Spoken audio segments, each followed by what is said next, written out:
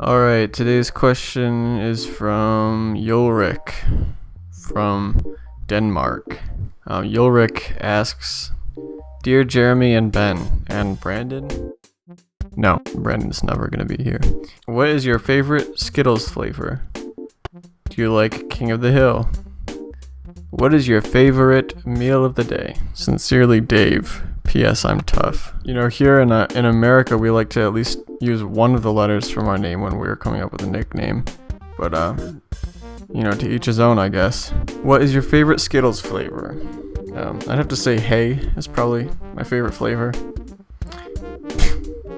no, I'm kidding. Um, I don't really eat Skittles though. Uh, do you like King of the Hill? It's a good game. Um, I'm pretty good at pushing people off of hay and things like that. You know, I know what TV is. I'm just I'm just joking around. Yeah, I like that show a lot actually. What is your favorite meal of the day? I'd have to say um, hay. It's probably my favorite meal.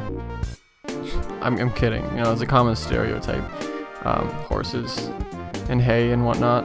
Um, I, in all seriousness, my favorite meal of the day is probably apples. No, I'm, I'm kidding again. I like breakfast a lot. Um, well, I hope that answers your questions.